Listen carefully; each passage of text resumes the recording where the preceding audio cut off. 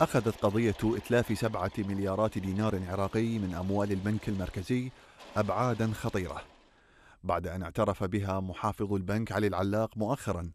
الأمر الذي فتح الباب أمام تكهنات ترى بأن شبهة فساد قد تقف وراء القضية.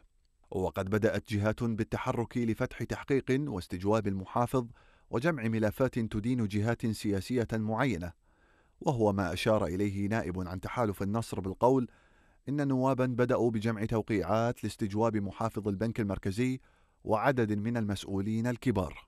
وأشار النائب إلى أن جهات من داخل البنك المركزي كشفت عن ملابسات خطيرة في الحادث وعن جهات سياسية مستفيدة منها. قد تقود إلى الكشف عن صفقات فساد كبيرة بدعم وتنسيق مع جهات متنفذة. وأشار إلى أن جلسة الاستجواب ستجر جهات سياسية أغرقت البنك المركزي بملفات الفساد طوال سنوات فضلا عن أشخاص آخرين يعملون كأذرع لتلك الجهات.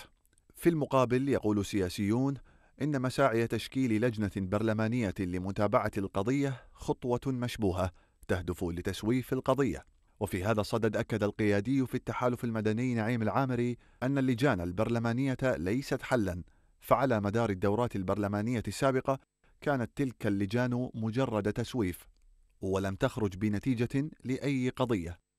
النائب علي البديري من جانبه طالب بمحاسبة عاجلة لنور المالكي ووزير المالية في حكومته الثانية لأن الجريمة حصلت في عهده فيما استغرب من كشف الموضوع بعد مرور كل هذه السنين متسائلا عن دور الجهات الرقابية.